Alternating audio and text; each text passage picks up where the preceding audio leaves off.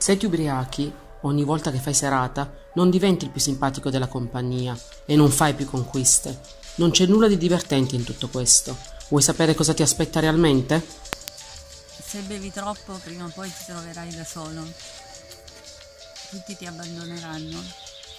Restare solo è molto brutto. Chiedi aiuto.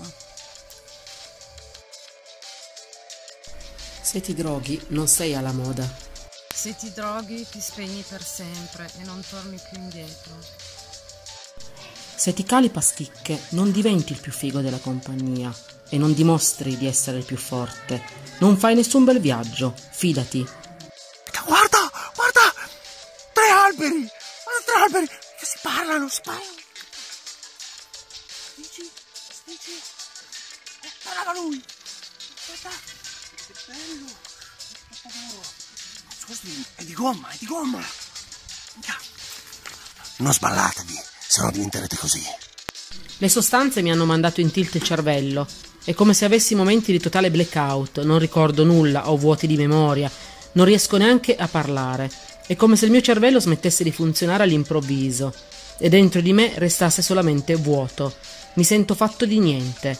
Ho perso molti ricordi per colpa dei cocktail di farmaci, alcol e droga e di tutte le porcherie che sniffavo. Mi sono ridotto in questo modo. Il mio fegato è marcio, non funziona più.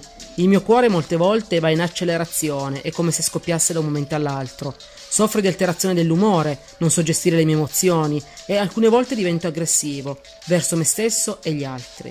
Soffro di trombosi agli arti inferiori, le mie gambe so- sembrano fatte di legno, il mio addome per colpa della cirrosi si è dilatato a dismisura.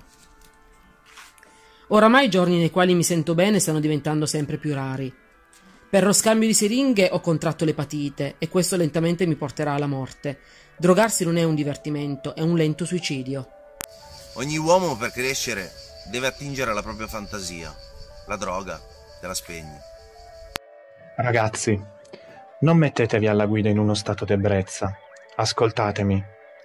Io ho iniziato a fare uso di sostanze e a bere in maniera smodata già dall'età di 12 anni. A 14 anni ricordo un pomeriggio d'estate. Ero completamente ubriaco e ho rubato un motorino. Pensavo fosse un gioco divertente sfrecciare in mezzo alla strada, libero, con il vento tra i capelli. Invece sono andato a scontrarmi contro un camion. L'impatto è stato devastante. Mi hanno portato in ospedale. Sono stato in coma per due anni.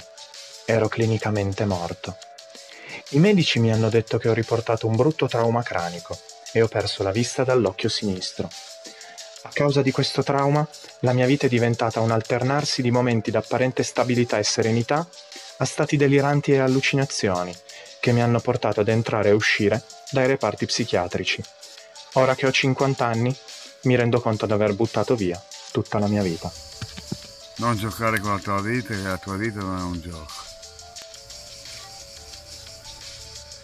Mi hanno parlato di un tunnel, fatto di sofferenze. Non ci credevo, ma quando l'ho visto mi sono dovuto ricredere. Se ci sei dentro, non vergognarti di chiedere aiuto. Sì, non bevete, non fate come me che mi sono beccato la cirrosi. Ragazzi, non fate il mio stesso sbaglio. Io il Cuprad me la sto curando. Sto cercando di curarmela. Usate la testa, buona fortuna e tante cose belle. Non